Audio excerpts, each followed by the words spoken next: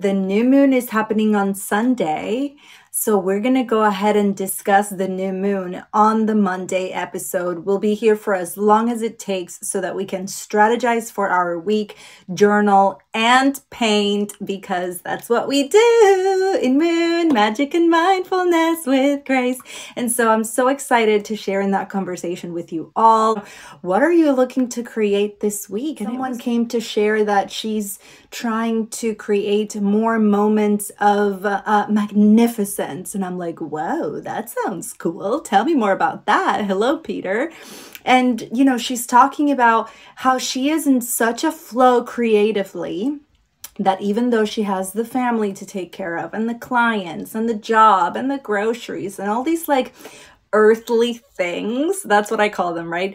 Earthly as opposed to like, you know, more mental, creative things as above, so below on the land of the living, right? And she's talking about how even though she's caught up in all of these real life adulting things, she's really looking forward to create more moments when she can sit down to create because she's so excited about what she's working on that time just what is it right? Like what's time? Because it just seems to stand still when we're in that flow right? And and that's that is one of the aspects of, of why this call this show is called moon magic right? And mindfulness. And it's because we do experience those moments of magic and we don't even realize. And so that was beautiful i thought. I feel like i'm also caught up in that creative flow right now with some of the projects that i have going on. And i want you all to be in that flow uh, right? What are the moments that you are trying to create? Are you trying to create moments of peace?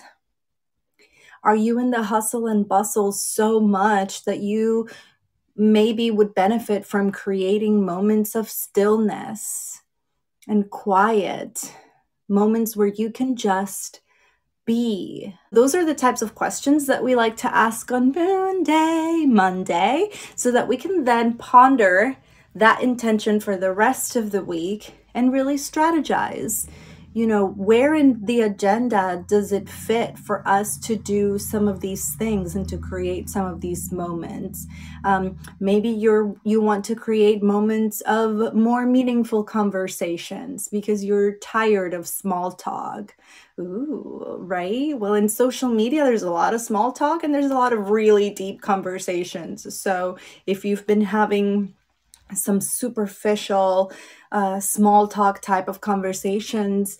Maybe you want to create moments or interactions with the right people so that you can have deeper conversations. So this is the time to ponder what is really serving you well and what isn't. Um, who are the people in your life that are there to really bring something to the table and that you can bring something to their table. And it's a collaborative effort right? Like life is not just um, about us doing things on our own. So let's go into the next topic which is limiting beliefs. Dun dun dun. I wrote about it on my blog post today and it has to do with the fact that we tend to limit ourselves sorry, there's a bug around here because I live in the country, you know. We don't acknowledge the ways that we limit ourselves. And so the books and the content talks a lot about limiting beliefs such as I am not worthy, I am not good enough, I am not lovable. And some of these core beliefs come from childhood wounds, and that's okay. Those are important core beliefs that turn into limiting beliefs, right? Um, but there's other limiting beliefs that are more like day to day little things that we say, like, oh, I can't do that.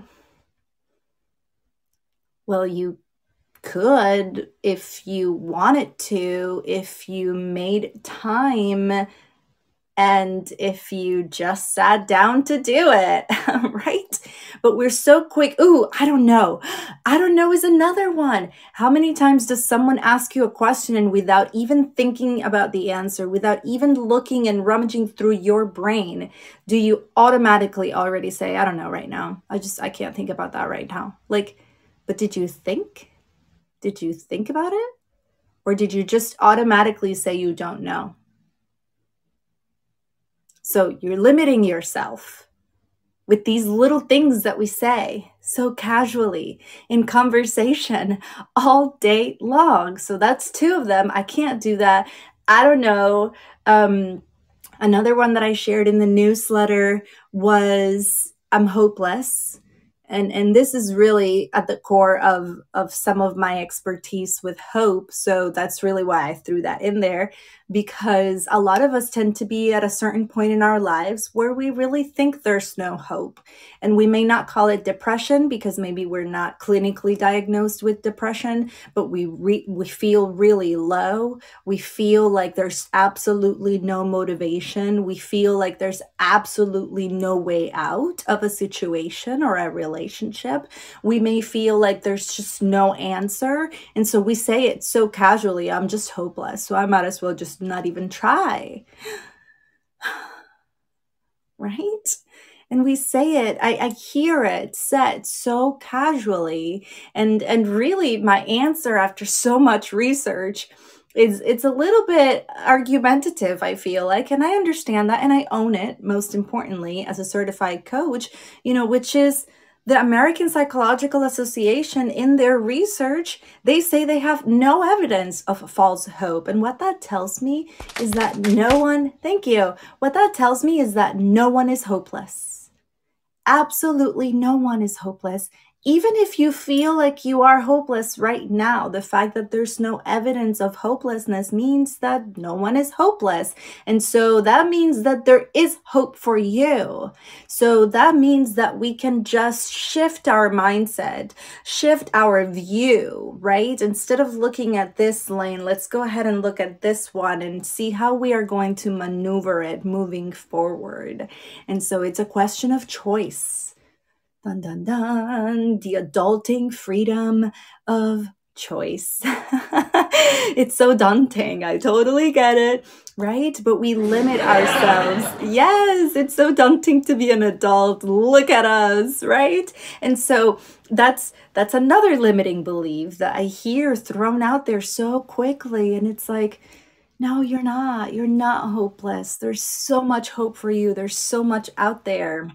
Uh, another limiting belief that we tend to throw out there so easily is I don't know about that.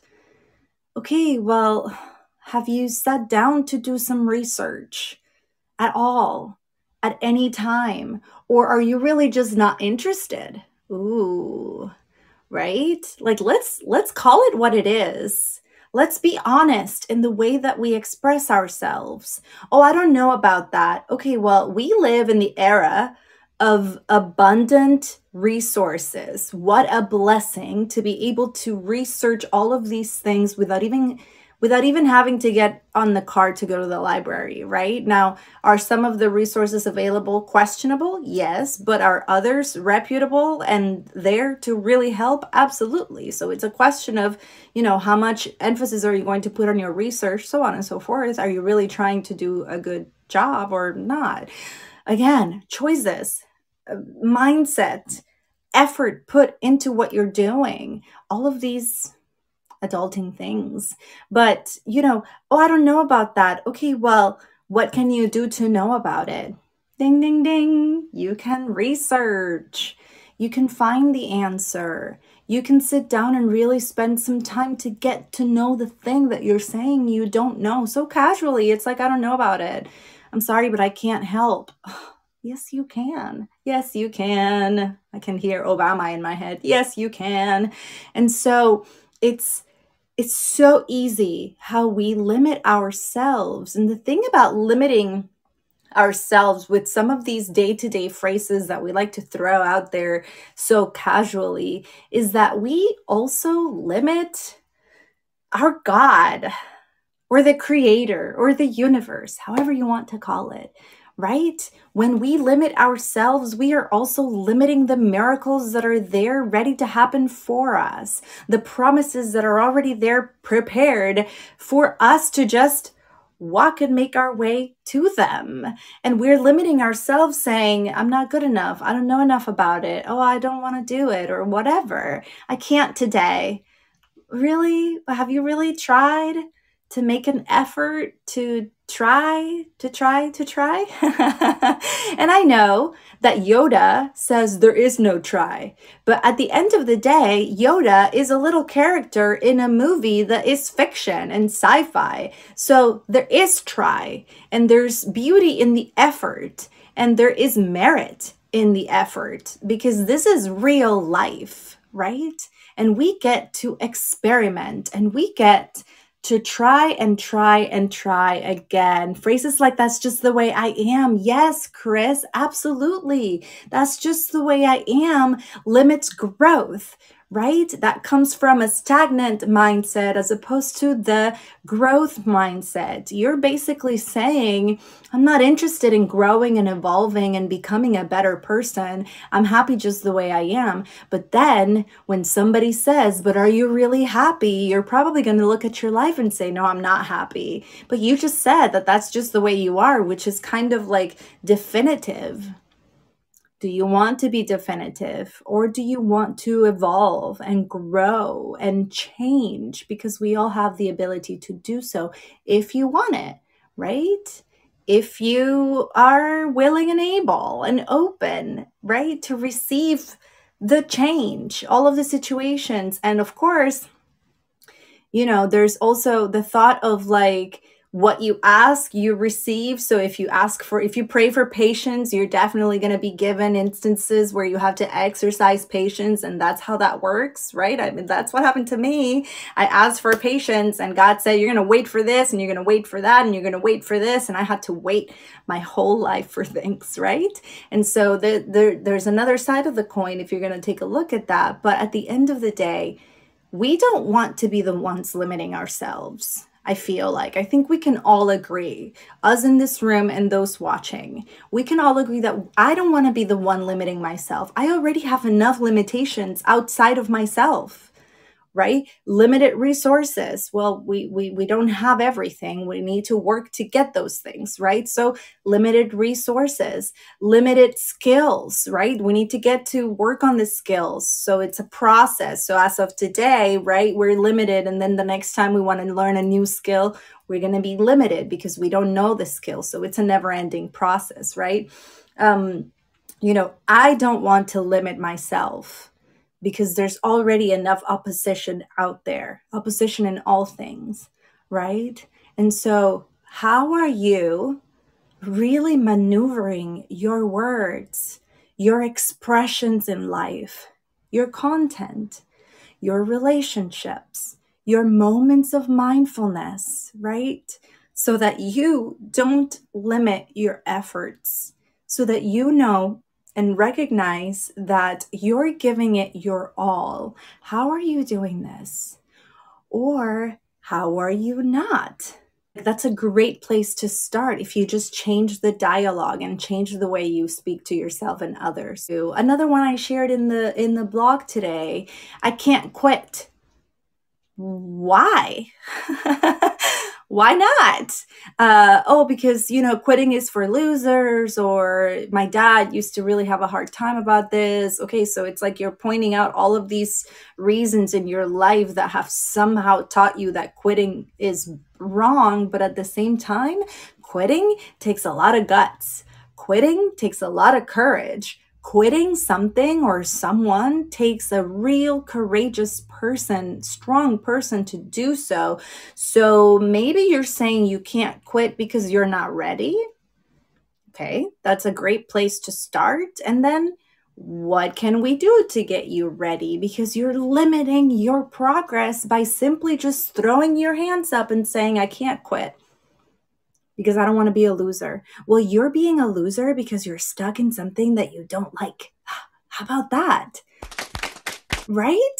Being stuck in something that doesn't serve you is like spending double the amount of energy not liking something or not believing something. We learned all of this when we were reading Chopra in my book club and and we've been learning about it together and it's about the fact that not believing on something or being negative takes double the amount of physical energy than it does to just be positive. And in part it's because all of that negativity just really takes a toll on you. So why not try being positive for a change? You know, the, the thing about positivity is that it really just keeps propelling the wheel forward with more positivity, more moments of beauty, more moments of peace and happiness. And you just want more and more and more. And that serotonin and that oxytocin, it's like, woohoo, right? All of a sudden you're high on life. And I'm just, I can't describe it. And so when you are stuck in something because you just don't want to quit, because you just think that you can't, how is that not a disservice to you? and to your creativity and to your growth. You put yourself in a box. Why would you do that? And when you're in a box, you can't grow. You're literally covered inside of a structure that just doesn't allow for fluidity or for growth or for elevation. What do you want to call it? All of these beautiful things, they all have a beautiful connotation to them, right? And so, yeah, it's going to be a great week with some of these thoughts in mind. Thank you. Thank you for all of the hearts because I really want everyone, and myself included, to get to believe these things on the daily like enough limiting ourselves enough limiting each other. Um, you know we tried something and it didn't work. Well there's other ways to try it. Let's try all the all the avenues available to try before we really just give up on something. It's already a beautiful week, and I'm just so happy that you're all here and so happy that we get together every week. Episode 10, woo woo, two digits. I'm just so proud of all of us for coming together every single moon day to talk about our weeks, to ponder what we really want to do. Where are you dropping the ball? That's a great question. And we all drop the ball. There's nothing wrong with dropping the ball. The point is, are you going to pick it up again? Or are you just going to stare at it and do nothing? Right? That's the question. You can drop the ball as many times as it takes for you to learn to keep it in your hand but are you going to pick up the ball or are you going to leave it there and just give up, right? None of us are giving up. We're going to keep trying. We want to grow and evolve. So it's already beautiful. And I'm so proud of you. So proud for how far you have come. So proud of all of the progress that you have made to this day. I feel like this particular episode is pretty deep um, and that's that's okay but at the same time it's such a privilege and a blessing to be the one that brings these topics and and that asks these questions and in the end i don't just do it for my community but i do it for myself i need to hear these things i want to believe that I am limiting myself in some of the things I say and that I don't want to limit myself. So, what am I going to do to change that dialogue?